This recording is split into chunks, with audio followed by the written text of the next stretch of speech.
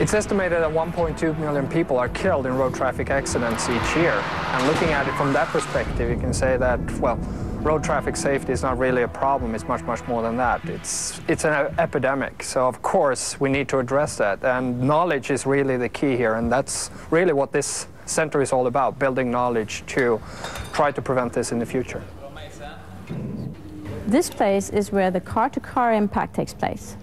We have one moving car traveling in that track, and another car which can travel from this tunnel, and this tunnel can be moved in direction all the way back here. Because in the real world, any crash can occur. So you can, you can have an impact in any angle. And this facility makes this possible. Five, four, three, two, one.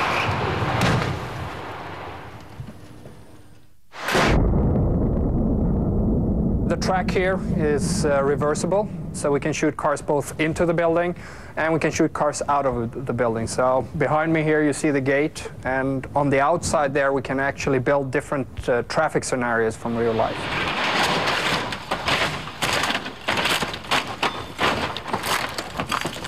Well, if we look at the past 10 years, we've been taking humble steps every day in building our knowledge, and that will continue over the coming 10 years. And I will think that we will see some breakthrough technologies being put to the market, both when it comes to how we can protect when a crash occurs, but more importantly, how we can prevent crashes from occurring in the first place.